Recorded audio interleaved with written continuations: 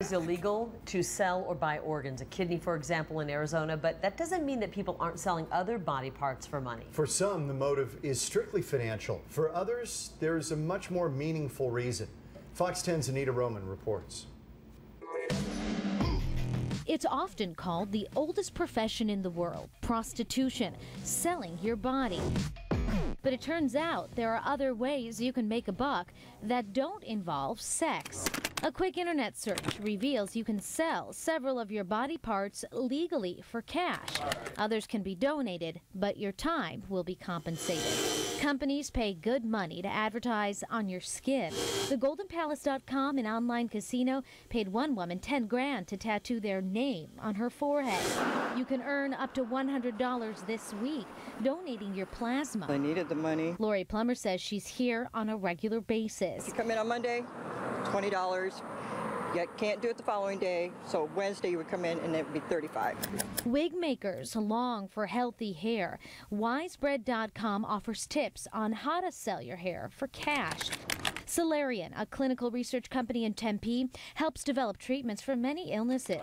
They didn't want to talk on camera, but the website indicates you can receive a stipend of nearly four grand for participating in a study. Anonymous and you know all those. yeah. The motivation to donate was anything but financial for Megan Mendenhall. I had no idea, you know, how much you make or what what was involved. Mendenhall was a psychology major at ASU, a sophomore. We studied um, Um, relationships and married couples versus non-married couples. She was just 20 years old when she decided to donate her eggs. I just felt like if they can't have kids on their own, why not help them? You don't get compensated by the number of eggs that you, you do. Someone who donates 10 gets the same compensation as someone who donates 30. Reproductive endocrinologist with Arizona Reproductive Medicine Specialist Dr. Drew Moffitt says a donor can receive upwards of $3,000 for her eggs. Compensation for her time selling them is illegal in Arizona.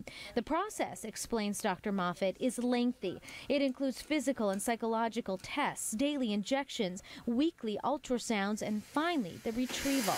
They are really uh, empowered by the fact that they're going to be able to bless somebody's life in a huge way uh, and change their lives forever. We wondered, does selling your body or donating it for compensation cause any long-term or psychological effects? Well, experts we spoke to say it can. The degree, however, varies on what you're giving up. Level of commitment, level of involvement. So it's going to have the, you know, the experiences of, um, you know, donating hair or plasma are, you know, pretty limited in their in their commitment or their involvement, and it's a fairly short short procedure process, very you know relatively painless, versus you know donating an egg, which is a very invasive procedure. Family and marriage therapist with PCS, Dr. Everett Bailey, advises anyone who plans to donate to do the research and prepare mentally. Megan offers the same advice. I would say to think about it because it is a big deal knowing that you did donate part of yourself to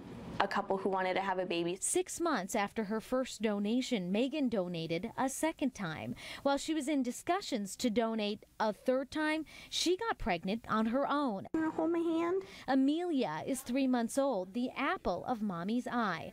Another reason Megan says she will donate yet again. Another reason to help a couple start a family of their own. Anita Roman, Fox 10 News. Now, you cannot donate sperm in Arizona, but the going rate in neighboring California is said to be $1,000 per donation. Just as with eggs, donors have to meet specific qualifications. Also, women can make between $20,000 and $25,000 to carry another's child. Although surrogacy is still a controversial topic, and some other countries will pay money for a woman's placenta after she gives birth. It's often sold later in pill form.